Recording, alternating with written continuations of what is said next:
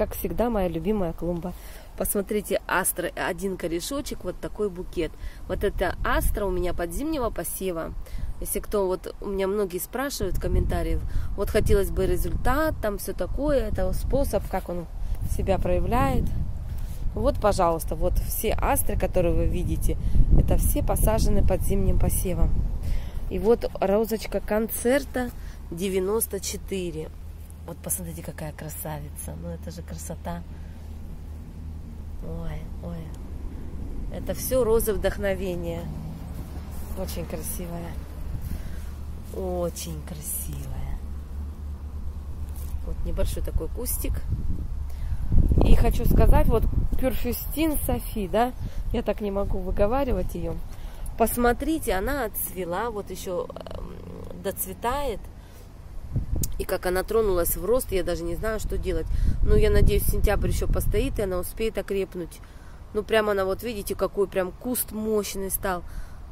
Прям меня это, конечно, радует, но не знаю, ну и вон там еще бутончики есть. Не знаю даже, как быть.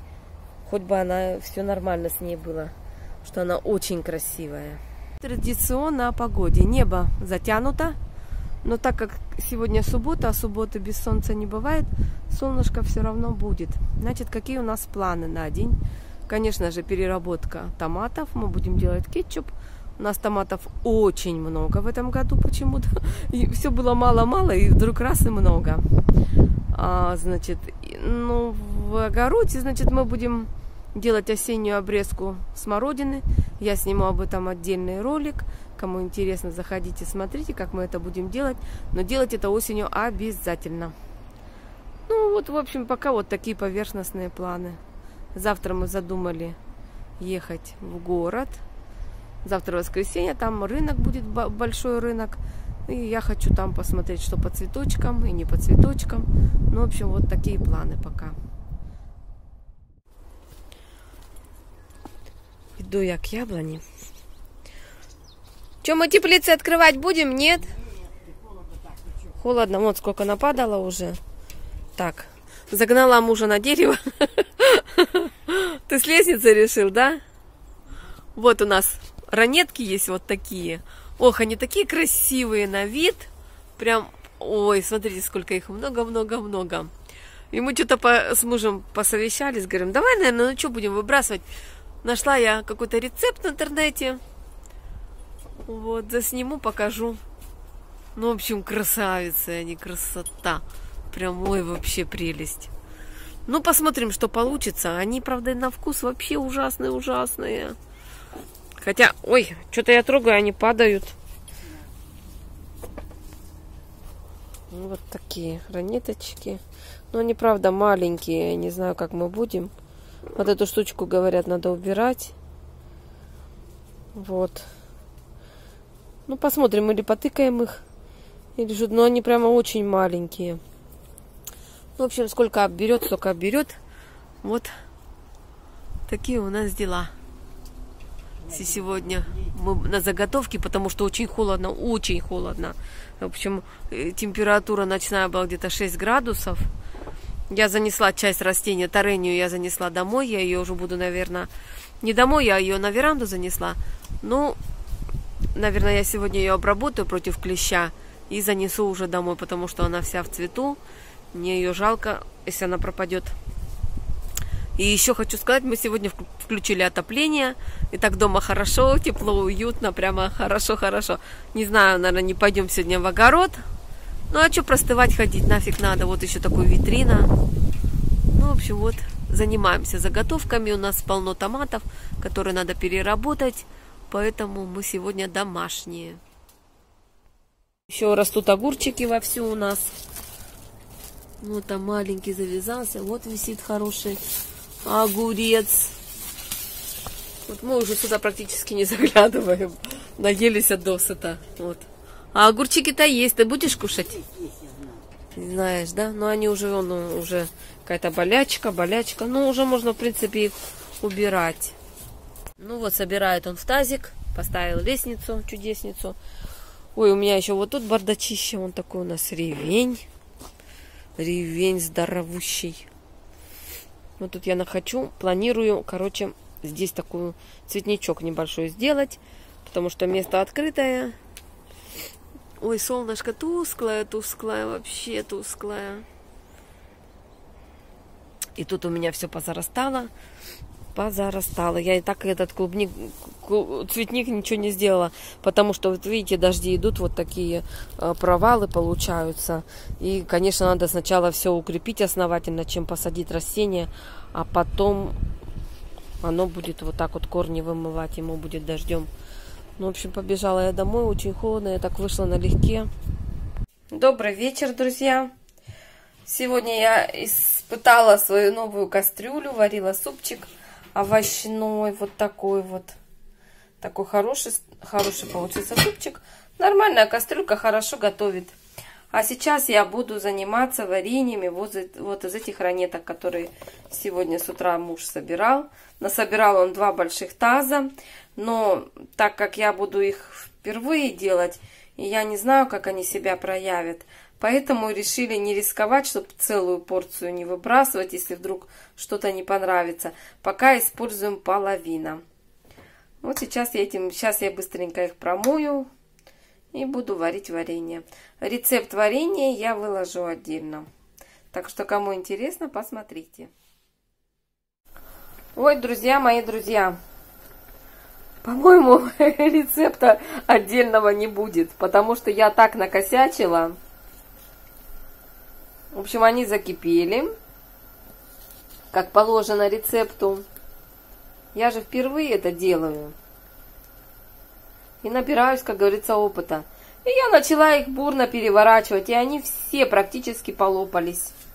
Очень осталось мало целых. Ну, в общем, представляете, да, что? Вот я поэтому их сейчас... Мне же надо, чтобы они все проварились, а у меня что-то в серединке только кипит. И по краям вообще ничего, видите? Вот я слегка их немножко туда внутрь отправляю. Ну, в общем, что получится, что получится. Это мой опыт, это тоже хорошо. Еще хочу сказать, вот рецепты делают, да, и вот о нюансах, вот, да, вот таких, как вот я сейчас сотворила, вообще не говорят, ничего не говорят. Быстро видео выложили, по-быстрому, знаете, как все любят, за, за две секунды – чтобы был рассказан рецепт и показан желательно. Что хочу покритиковать, конечно, кто выпускает ролики и не поясняет, что как есть какие-то особенные нюансы, например, не перемешивать, не мешать, не трогать ни в коем случае. Потому что, вот видите, ну как вот, это вот хорошо я так экспериментирую, а люди понадеются, купят продукты. Вот у меня они выросли, эти ранеточки, а кто-то, может быть, купит их. Понимаете, о чем я говорю? Ну, неприятненько. Поэтому вот так. Конечно, я тоже вбухала 4 килограмма сахара. Ну ладно, я-то что-нибудь придумаю, наверное, все так. Ну вот есть такое, если я вот выкладываю рецепт, так я говорю на всех нюансах. Пускай получается долго, но зато человек будет готовить, и он будет уверен в том, что он приготовит хорошее, полезное, вкусное блюдо.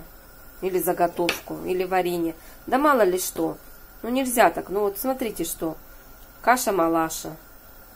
Ну, конечный результат, друзья, покажу обязательно. Всем доброе утро. Утро следующего дня. Посмотрите, я не пост... А, постояла день. Ой, тише надо убавить. Не день, ночь, вернее, извините. Посмотрите, оно как загустело. Я вообще в шоке.